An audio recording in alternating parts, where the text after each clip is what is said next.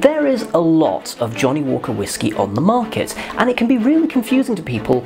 What should you buy? What should you spend your money on? Particularly if you're just getting into your whiskies and you see all these various labels. What's the difference? Which are the good ones? Which are the ones that you should spend your money on? And which are the ones that you really should avoid? Well, if you're in that situation, then stick around because this video might just answer that question.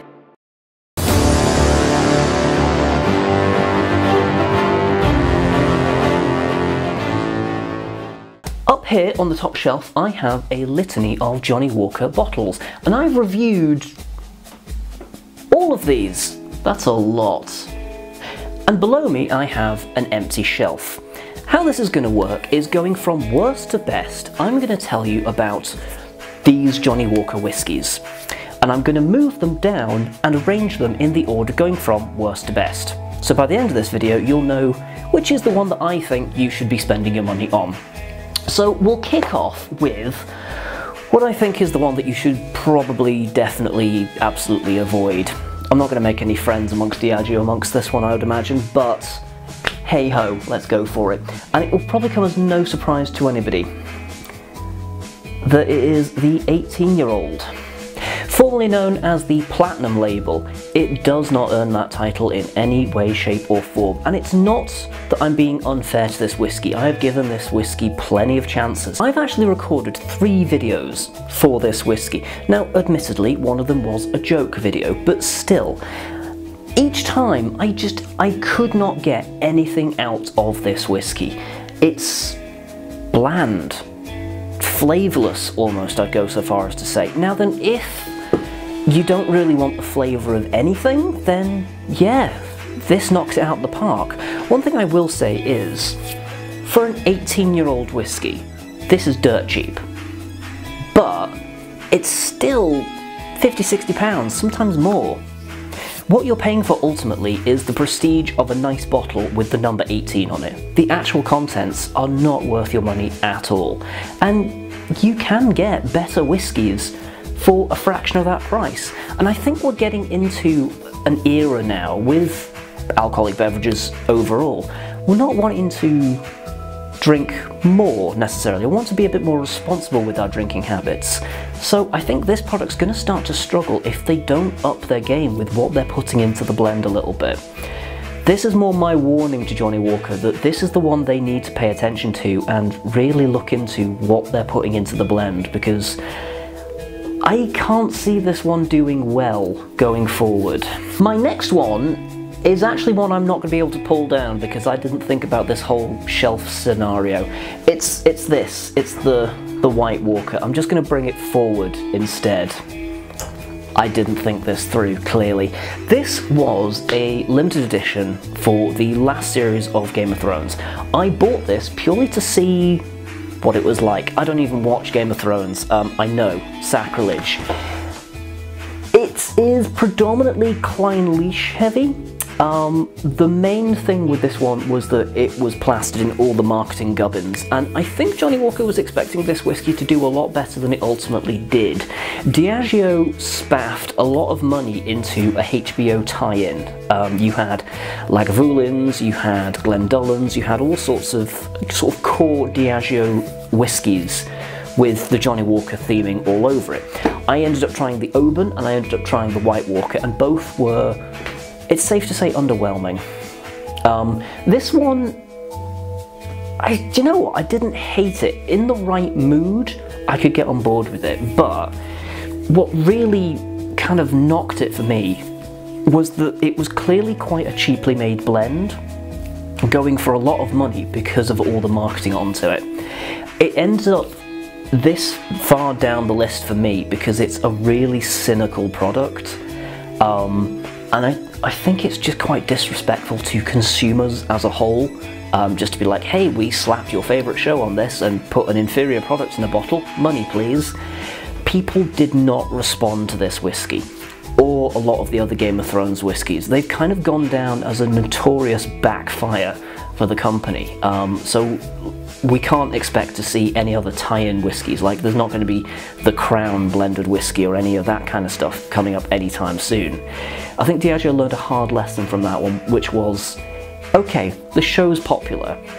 Slapping the name on something completely unrelated doesn't necessarily work. There was a gimmick with this as well. Um, I'll get the bottle down. There was a gimmick with this um, that you were supposed to put it in the freezer. Now that's a big old red flag right there because when you chill alcohol, the sensation of cold essentially numbs your tongue. So by saying that you want to freeze this, it's basically saying that the product is inferior and we know it's inferior and we're going to try and make that a selling point. And you know how they made it a selling point? They put thermoreactive ink on the bottle, so when you freeze it, um, the words winter is here comes up. You can actually kind of make it out anyway because of how it's printed. Um, the actual bottle itself, it's, it's just a, a wrap. Um, it's got like a, a, plastic wrap around it, so it, it does kind of come across as quite cheap, even though it's got kind of like the gimmicky fun thing. Um, and you've got the striding man done up like a White Walker. Can I actually fit that on there? Oh, yes. There's probably not going to be much room for anything else, but we'll leave that there for now as a as a testament to cynical tie-in whiskey, I suppose. The next one off the list is the Red Label. This is the best-selling whiskey in the world, or rather it was last time I checked. It might have actually been pipped out by now. Um, it is a distribution giant. Um, it's sort of like the Coca-Cola of blended whiskey, really. It's everywhere. Um, loads of people drink it. It's commonly used in highballs and other mixed drinks. Um, again, Diageo are big onto their highballs at the minute, like mixing with teas and all sorts of interesting different ingredients. This is kind of like the, the poster child for mixed drinks. Um, and there's a perfectly good reason for this. It's really bad. Um, it's notoriously bad, it's well known to be bad, so many people might be surprised that it's actually third from the worst. Um, certainly when I was going into the Johnnie Walker experiences, blends, um, I was expecting the 18 year old to be quite a good one because it's 18 years old, man. How do you fuck that up? They can and they did. The red I was always expecting to be bad. So I was pleasantly surprised that it wasn't undrinkably awful, as a lot of people make it out to be. Don't get me wrong, it's still a cheap and nasty product, it's still got loads of burn, it's kind of all over the place flavour wise, and it's clearly meant for putting with something to try and dull the nasty, which is a pretty common thing when it comes to cheap and readily available alcohol. It's it's designed to get you a bit fucked up. It's not designed to be a nice experience necessarily. That sounds really cynical and cruel, and there's a good reason for that. It is. Um, that having been said, I haven't despised this whiskey. Um, it's been a bit of an eye-opener. I'd never buy a bottle of it, but one of the things that it has allowed me to do it has allowed me to see how much it's changed. This is a bottle of Johnnie Walker from the 70s, and I did do a side-by-side -side comparison on these two. This is nectar by comparison. Don't get me wrong, it's not the best whiskey on the planet, but in comparison, it's incredibly good. Like, they are leagues apart from each other. So people that say that these blends are done to be consistent, they're not, because this is radically different. Admittedly, the stocks that go into this will be radically different as well, and it has been hanging around for a good while longer, but just the overall calibre of this, light years ahead. Literal light years. It's like this is in the Alpha Quadrant, this is in the Delta Quadrant. Like, it's nowhere near. A little bit of Star Trek fun for any of you Trekkies out there. I'm going to pop this up here because it's not relevant to the video anymore. So following on from the red, which is the cheapest in this lineup, you might be surprised by the next entry. I think I'm giving it away a little bit by saying that. It's the blue label. This is Johnnie Walker's premium blend, and it got a lot of mouth treatment, that's not the right phrase, publicity from The West Wing and other shows which tout it as a super premium whiskey. Um, there was a bit of confusion about the age around it. Um, it was embroiled in a an argument over what can be classed as the age statement, um, and this was one of the whiskies that kind of kicked that conversation off properly. Time was people thought that it was like 60, 70 year old whiskey. Um, it's now gone to a no age statement, which means that, you know, whilst there are some of the older stocks in there, there's not a lot. Um, having tried this, it's fine. But considering the prestige and all the noise that's made by this whiskey and all the kind of like grandiosity of this is the royalty of the Johnnie Walker range, it should be a lot better for all the bells and whistles and it kind of exemplifies the range um, or rather the direction the range is taking when it comes to sort of like luxury branding, which is it's it's all fur coat and no knickers. You know, it's there's nothing going on underneath. Um, it's a, it's fine. Um, I'd never buy a full bottle. Um, and that kind of mirrors what I've found with a lot of other people's experiences with this was that they were left distinctly underwhelmed by the blue label. Um, it has spawned a couple of spin-offs, um, namely the Ghost and Rare series, um, which they've taken stocks from extinct distilleries or closed distilleries or ghosted distilleries, um, and they've kind of dunked a little bit of that into the blend. I would imagine not much, but the responses to those whiskies have actually been more positive, so maybe they're going in a better direction with those. I will also say they're also double the price of what this is, and this isn't exactly a cheap whiskey to begin with. It's about £120 for a okay to mediocre whiskey in a nice bottle with a certificate and like a nice box. But what you're paying for with that is again the image thing. It's got the same problem the 18 year old does. The liquid inside is okay. Does not justify the price that's being charged whatsoever. The only reason it's come this high up, really, is that the blend itself is actually relatively competent. It's like they gave a bit of a fuck about it, but it's still all about the presentation over any kind of substance of taste, smell, or any of other. Any of the drinking experience is secondary to how it's put forward. Um, it's very much the politician of whiskey. Following on from the blue, we have eh, the black label. This is one of the rare examples of Johnnie Walker having a age statement. You've got the 12, you've got the 18, you've got the 15 with the green label. Um, this is actually a competent all-rounder, so we're going from the eh, don't really bother to the maybe give it a look kind of section. So everything from this point onwards is kind of, I, I wouldn't say no. Um, so we've gone from the don't waste your money side to maybe give it a punt if you want. Um, but this is on the lowest end of this. It's commonly available. The reason it doesn't get higher is that whilst the blend hasn't gotten any better, the price has started to really jump up on this. And I can see no explanation as to why. In terms of taste and smell, it starts to get left behind by its contemporaries, but because it's got that 12-year-old age statement, I think Johnnie Walker are getting a bit bold in themselves and being like, do you know what, we can we can eke the price up here because the price of whiskey overall is going up. And even though this blend doesn't justify a price increase at all, because of the name and because of how it's packaged, and because it comes off as more of a luxury good, they're able to add some of that money on, and it works. Um, I would say if you see it on offer, it's not necessarily a bad purchase, and there is an element of nostalgia for that whiskey for me um, because it's the first whiskey that I tried that I didn't hate. I did have it with ice cubes, so that definitely helped, but it was Cadona's 2012 in Aberdeen. Um, I just won the presidency of a society, and we were like, let's go and figure out. And I was like, what's a presidential drink? I'll have a whiskey. And all they had was Johnnie Walker, so I was like, I'll take that. And I didn't hate it. So going back to that, I was always kind of like, there's a nostalgia element to this in that it is a whiskey that I didn't actively hate. Moving up the list, it's kind of like a Sam Sparro song in that we're going from black to gold. Anyone who's never listened to that song will have no idea what I just said.